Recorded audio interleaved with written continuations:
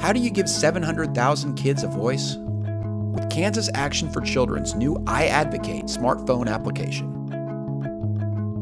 iAdvocate literally turns your smartphone into a communication hub, making it simple for advocates to stay in the know and make their voices heard.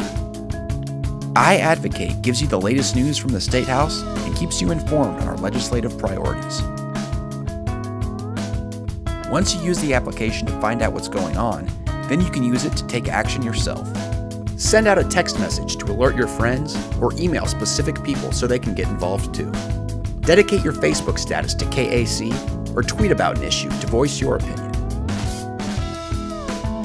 If you feel strongly enough about an issue, you can look up your state legislators and give them a call or send them an email with the click of a button. No matter what communication channel you want to use to take action for Kansas kids, KAC iAdvocate has you covered. Get started today by going to the iTunes App Store and searching for KAC iAdvocate. The application is free to download and instantly gives you the opportunity to start making a difference. Download KAC iAdvocate and take action today. With your help, we can strengthen the future of our state.